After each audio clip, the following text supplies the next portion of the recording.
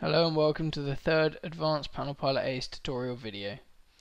In this tutorial video I'll be showing you how to make variables as well as how to toggle them using buttons on the screen. So following on from our last time we'll need to be adding the buttons here to toggle between degrees Celsius and degrees Fahrenheit as well as the toggle button here to toggle the clock display visibility. So in order to do this, first we'll make the visual elements. Now we're going to need a rectangle with gradient similar to before, so I'm going to copy and paste these. Uh, and these are going to be the background for our text. So for example, and now on top of this we're going to need to add a checkbox. So for this I'm going to take a black circle now this has a size of 42, so I'm going to make that 40 now. And I'm going to give this circle a size of 30 and make it 30 by 30 so that it is fully round.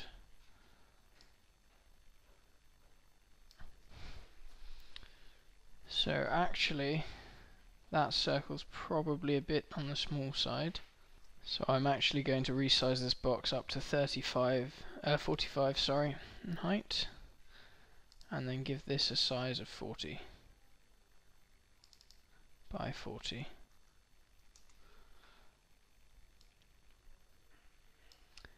now the x position of the uh, sorry the y position of this is going to give to 100 now if this is size 40 and this is size 45 we're going to want 102.5 uh, 0.5, sorry. There you go, that should be directly in the center. Now within this we're going to want a little checkbox. So I'll drag in another eclipse. Now this is 40 by 40, so I'm going to make this 20 by 20 and see how that looks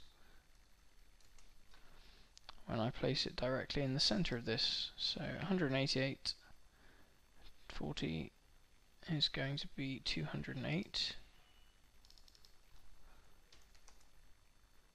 and that's the center so its width is 10 so minus 10 from that is going to give us 198 now this height is 102.5 here.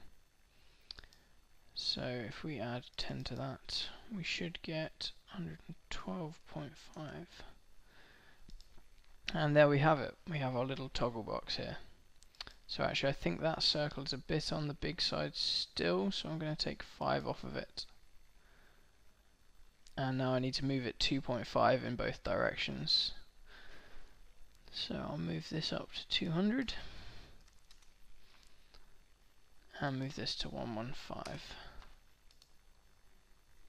and there you have your toggle box so next I'm going to add the text box next to it now this is going to read, uh, I'll label this uh, Celsius label and give it the text value Celsius. So I want to resize this just so it fits better inside the box. And now I want to reposition it so that it's in the middle on the right hand side. And I'm going to take this slightly further away. So I want this repeated again, sorry, for the Fahrenheit. So I'm simply going to select all of these elements using the control button, copy and paste them, and then drag them down below. And now I can rename this to Fahrenheit.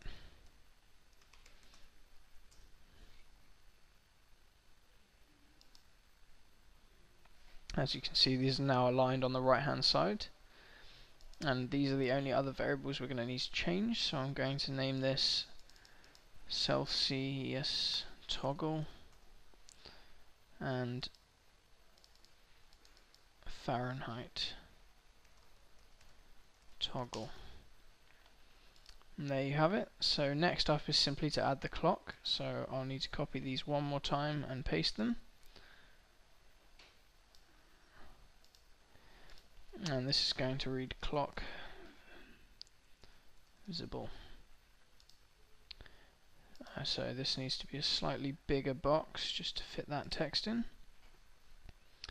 And I want to move it slightly to the right as well, just so it's further from the edge.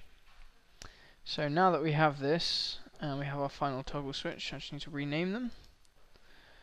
Clock label, and I'll rename this here to clock toggle. So now that we have all of our visual elements added, the next thing we need to add are our variables. So the variables we need to add are all boolean variables. So the first one I'll add is going to be called is Celsius. Since there are only two states, it'll either be Celsius or it won't and it'll be Fahrenheit.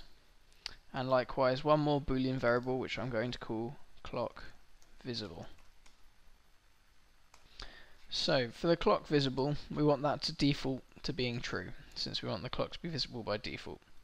And likewise we want is Celsius to be defaulting to true, since we're defaulting to Celsius as well.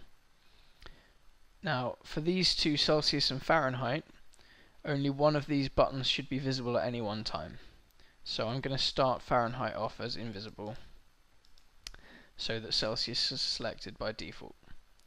With the clock visible, this is merely going to disappear and reappear. There is no need for it to toggle between two different boxes. So now that these have been added, the next thing we need to do is to add the buttons. So these are going to allow us to run an action when a certain object is pressed. So we need three buttons. The first button is going to be when Celsius is clicked and I'll rename it as such. The visual element related to that is going to be the Celsius toggle. Uh, actually, I'm going to make it the eclipse behind it, so I'm going to call this Celsius eclipse and rename this Fahrenheit eclipse.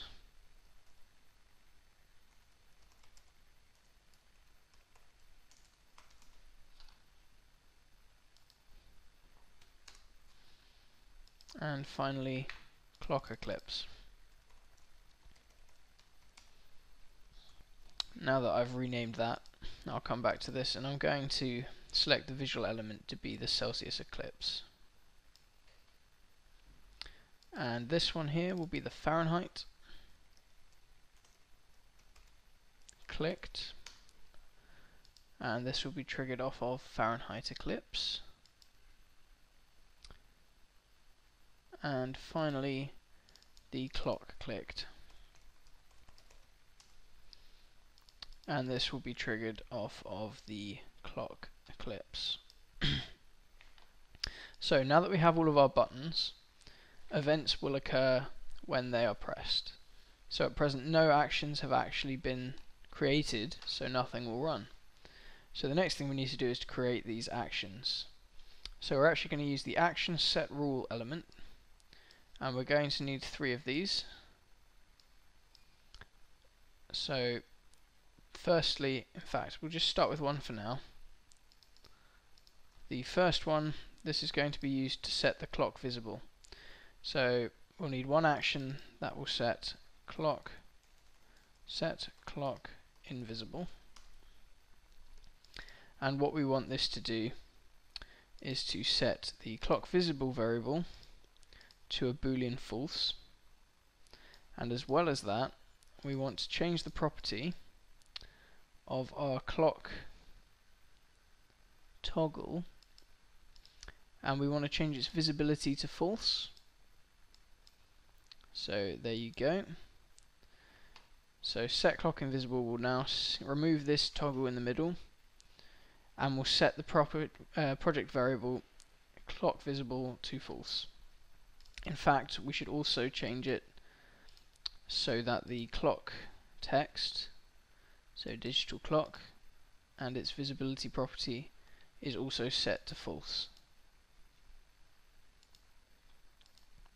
So now this will disappear as well. So the other state we're going to need to be able to set to is set to Celsius, set to Fahrenheit, and set the clock to visible once more. So I'll need one more action rule for the clock. So this is going to be set clock visible. And we're going to set the expressions clock visible equals true. We'll also need to set the property clock toggle dot visible equals boolean value true and finally the digital clock text box is visible property is going to need to be set true as well. So we've done both of the clock actions. So next we need the two temperature actions. So this is going to be set Celsius and in this property we are going to set the variable is Celsius to true because this is set Celsius so only boolean value true and we are going to need to set the visibility of this toggle so property Celsius toggle dot visible is going to need to be true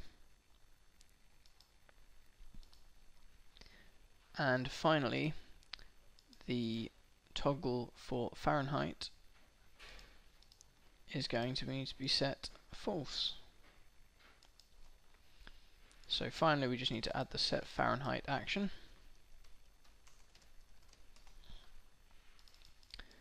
So for this we'll need to set the is Celsius value to false.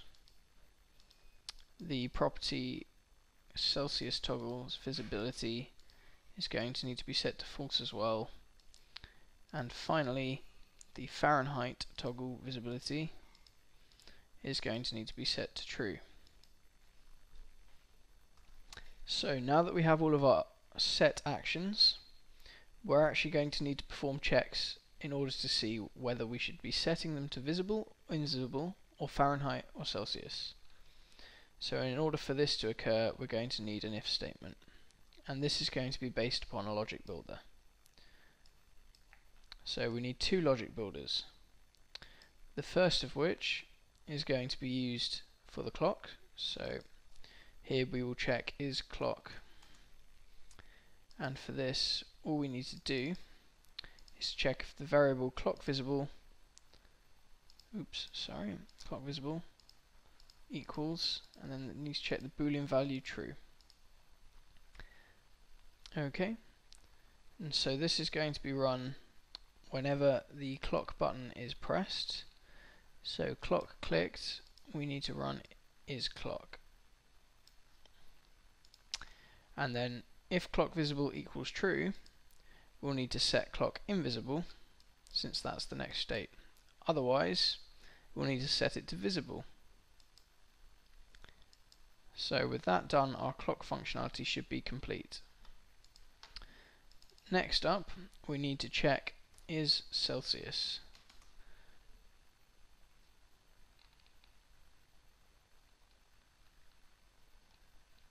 Which apparently is taken, ah, since it's our variable name. So I will rename it is Celsius 2. And for this rule, we simply need to check once again whether the is Celsius variable equals boolean true.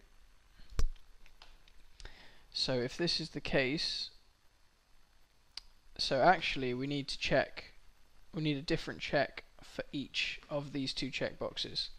So this is only going to occur when Fahrenheit is pressed, so that these two don't toggle. If you hit Fahrenheit twice, it won't toggle between the two. You have to hit the correct one. So is Celsius true? We'll run and if it is true it's going to do nothing uh, sorry it's going to change to Fahrenheit so set Fahrenheit. And if it's false it's going to do nothing. Likewise we actually need one more logic builder. That's going to be is Fahrenheit.